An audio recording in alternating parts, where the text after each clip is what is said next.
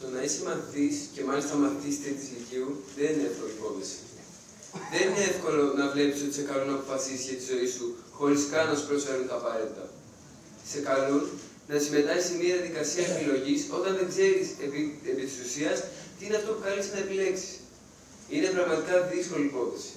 Όταν, όταν μάλιστα το δημόσιο σχολείο υποβαθμίζεται συνεχώς και οι γονείς σου με απίστευτες θυσίες και προσπάθειες να πρέπει να καλύψουν, αν μπορέσουν να καλύψουν τελικά τα κενά που δημιουργούν οι επιλογές των κυβερνήσεων. Γνώσεις που ουσιαστικά δεν, δεν γίνονται ποτέ κτήμα μας, αλλά μόνο τις παπαγαλίζουμε, γνώσεις επιφανειακές χωρίς ουσία, γνώσεις που απέχουν πολύ από τις δυνατότητες που μας δίνει σήμερα η επιστήμη. Ειδικότερα η φετινή τρίτη ηλικίου είναι η τάξη που πέρασε αυτή τη δύσκολη μετάβαση από το γυμνάσιο στο, από το γυμνάσιο στο Λύκειο, έκλεισε το σπίτι της, με ό,τι αυτό συνεπάγεται για τον ψυχισμό και τη συμπεριφορά των μαθητών της. Είδαμε στου μαθητέ μας να χάνουν δεκάδες ώρες μαθήματος επειδή δεν είχαν τα ηλεκτρονικά μέσα για να συνδεθούν στο μάθημα και κανείς να μην συγκινείται. Βλέπουμε τους μαθητέ μας στο δεύτερο Λύκειο να παίρνουν απολυτήριο έχοντας περάσει και τις τρεις τάξεις του Λυκείου στα κοντέινερ. Έχουμε φίλους που ενώ έγραψαν καλά στις πανελίνε, δεν μπόρεσαν να περάσουν στις σχολές που ήθελαν λόγω της ελάχιστης βάσης αγωγής. Βλέπουμε φίλους που παίρνουν πτυχίο και αναγκάζουν να μπαίνουν στη διαδικασία να, να συλλέγουν σεμινάρια και μεταπτυχιακά, πα και βρουν κάποια δουλειά. Έχοντας στο μυαλό μας όλα αυτά, αναρωτιόμαστε κατά πόσο η συμβουλή που δικαίως μας δίνει οι γονείς μας, να, να είμαστε ήρεμοι και να διαβάζουμε δηλαδή, είναι εφικτή. Μάλιστα, όταν έχουμε και άλλες σχολεία εκτός σχολείου, είναι σχεδόν αδύνατη. Πιο συγκεκριμένα, είμαι και αθλητής της αγωνιστικής αναρρίχησης στον Πεζοπορικό Ρηματικό Σύλλογο Πετρούπολης και μέλος της εθνικής ομάδας. Τίτλος βαρύ που θέλει πολλές φορές πάρα πολλές θυσίες. Τις περισσότερες βέβαια χωρίς αντίκρισμα. Είναι ένα, απαιτη... είναι ένα απαιτητικό άθλημα, το οποίο η ανάπτυξη βασίζεται στο, στο μεγαλύτερο ποσοστό, όπως και σε άλλα αθλήματα, στην προσφορά της οικογένειας των αθλητών και στη φιλότιμη προσφορά κάποιων προπονητών και κάποιων διοικητικών στελέχων.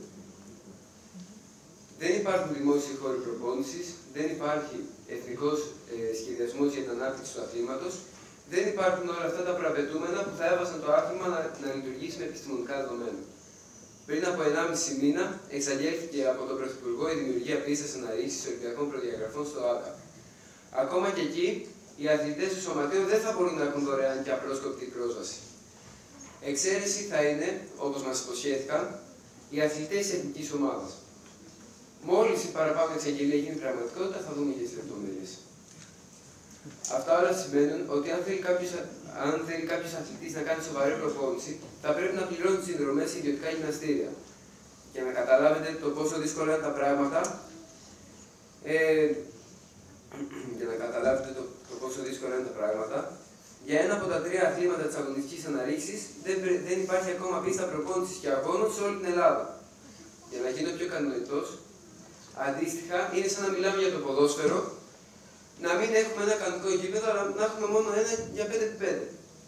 Όλοι οι Βαλκάνοι γειτονές μας έχουν τις αντίστοιχες υποδομές ενώ και, εδώ και δεκαετίες, γιατί κάποτε είχαν ένα τελείως ε, είχαν τελείως ε, διαφορετική άποψη για το πώς θα είναι ο αθλητισμός. Και να μην μιλήσουμε για την υποστηρικτική ομάδα που θα πρέπει να έχει κάποιος που προσλέπει σε μεγαλύτερη διακρίσει.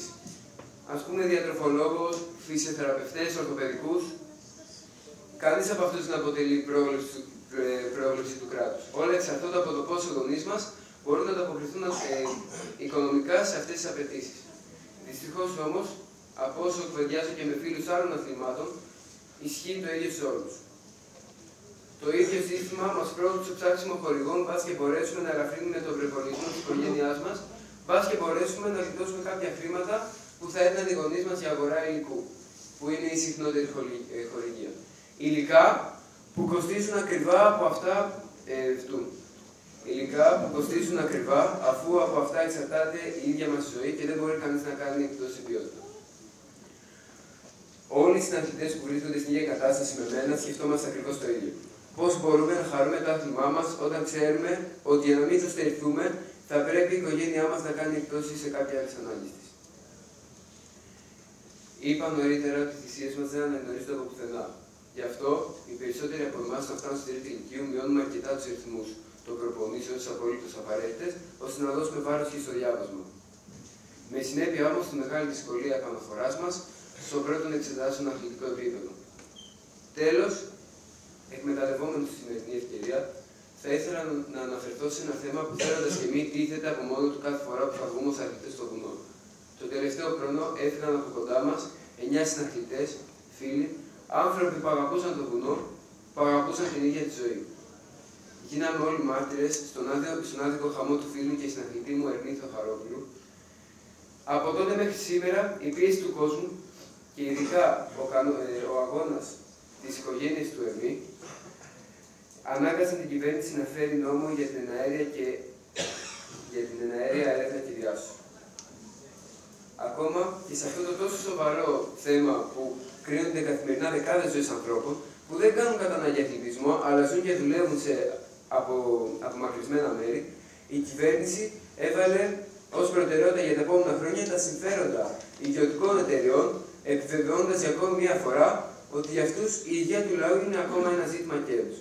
Επέλεξε δηλαδή το, το, επέλεξε δηλαδή πώς θα κερδίσουν περισσότερα κάποιοι παρά να ενισχύσει και να στελεχώσει με όλα τα σύγχρονα μέσα, με όλο το απαραίτητο, απαραίτητο επιστημονικό προσωπικό με τη βοήθεια της διεθνούς εταιρεία, το ενιαίο κέντρο συντονισμού έρευνας και διάσωσης. Εν πάση περιπτώσει, ακόμα και με αυτό το στρεβλό νόμο εδώ και τρεις μήνες δεν έχει γίνει τίποτα.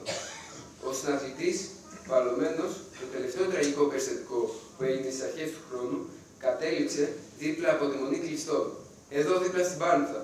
Μία ώρα μακριά από το κέντρο της Αθήνας και η πυροσβεστική έκανε τέσσερις ώρες να το βρει.